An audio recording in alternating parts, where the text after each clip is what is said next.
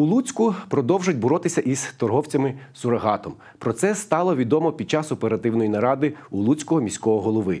Зокрема, на гарячу лінію надходять багато повідомлень про торгівлю неякісним алкоголем, зокрема на північному ринку та Лучиська.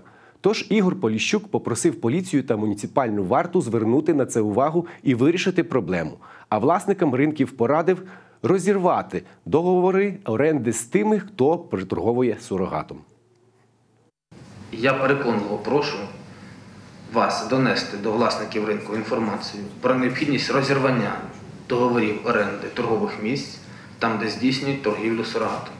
Інакше ми будемо також вживати якісь заходи, які можуть не сподобатися власникам ринків.